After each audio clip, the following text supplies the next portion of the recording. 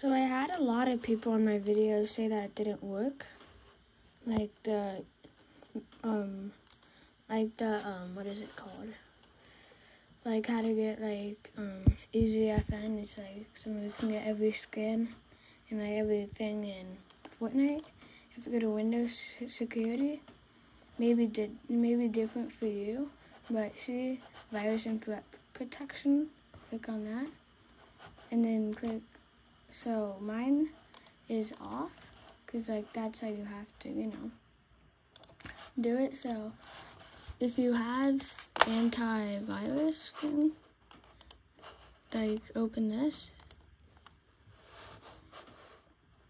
go to protection, core shields, and like all my shields are like turned off. Now they're not. So now, if you go back here, it's not gonna work.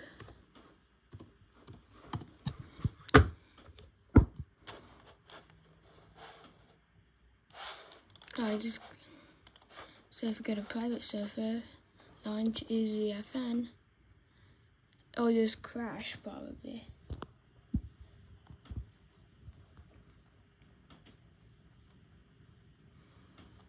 Because I'm posting this video and it does work.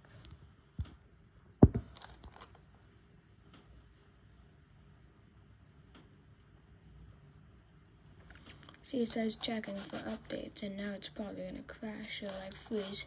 So when you get in, it's probably it's probably just gonna freeze or crash. See, I'll just keep on saying that.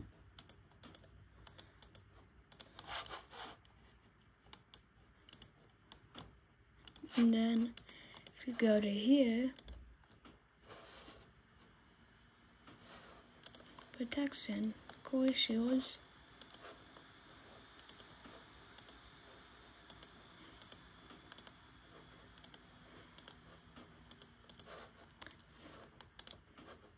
turn off all of these and go to and then go to EZFN.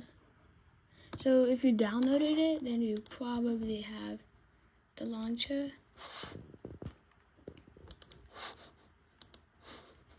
Private server launch, EZFN.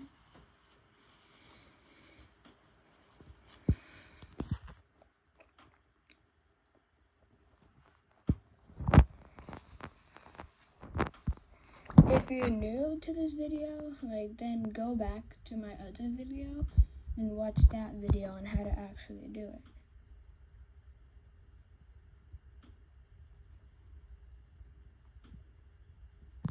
Says checking for updates. You just have to wait.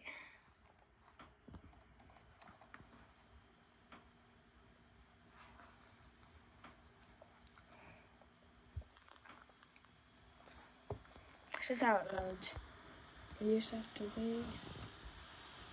Keep on waiting. I want to see if I did everything right.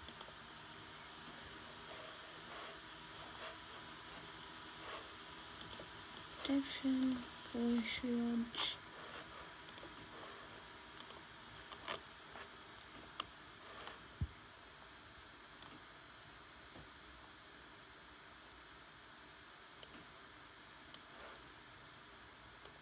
Okay. See?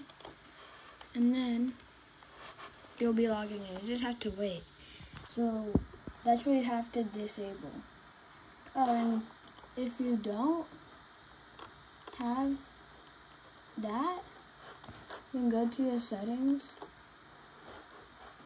update security, Windows security, and then virus and threat protection. And there should be something like down here. Like then you have to watch like another video on how to do it but that's all. That's the only fix I, I could find.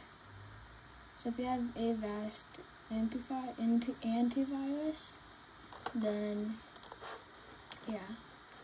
So that is how you do it. So if you did that wrong then that's what you did wrong so yeah there you go